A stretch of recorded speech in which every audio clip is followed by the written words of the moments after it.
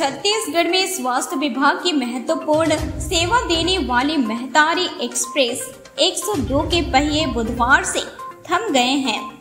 दरअसल, छत्तीसगढ़ शासन के द्वारा एंबुलेंस संचालन के लिए एक प्राइवेट कंपनी को ठेका दिया गया है, जिसके द्वारा नई भर्ती के लिए आवेदन मंगाए गए हैं।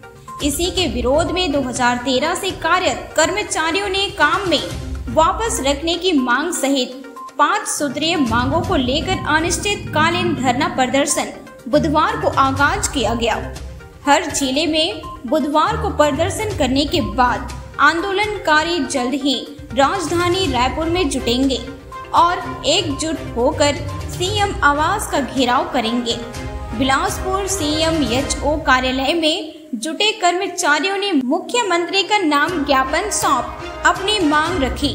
हालाँकि इस वक्त सीएम एच ओ अधिकारी वहाँ मौजूद नहीं थे।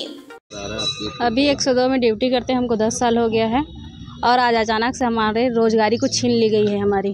बेरोज़गार हो चुके हैं और ये इसलिए हुआ है कि टेंडर प्रथा है, टेंडर चेंज हो गया है, उसमें बीएससी नर्सिंग की डिमांड की गई है ईएमटी पोस्ट के लिए, जो कि हम लोग अनुभवी ईएमटी है, जिनको आज कार्य करना नहीं आता बीएससी लेवल पे।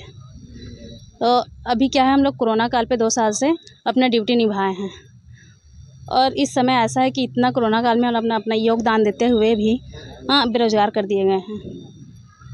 प्रथम बताना चाहूँगा कि हम लोग एक सौ आठ, एक सौ दो में जो वाहन चालक रहते हैं और जो पैरामेडिकल स्टाफ हैं, वो सब आज यहाँ अपने मांगों के लेकर के उपस्थित हुए हैं।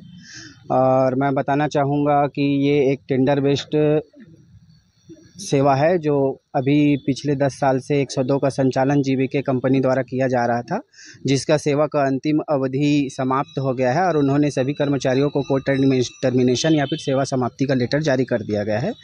और इस सेवा के लिए नया टेंडर भी जारी हुआ है और इस नए टेंडर का जो कार्यभार मिला है, वो कैंप नामक कंपनी को मिला है।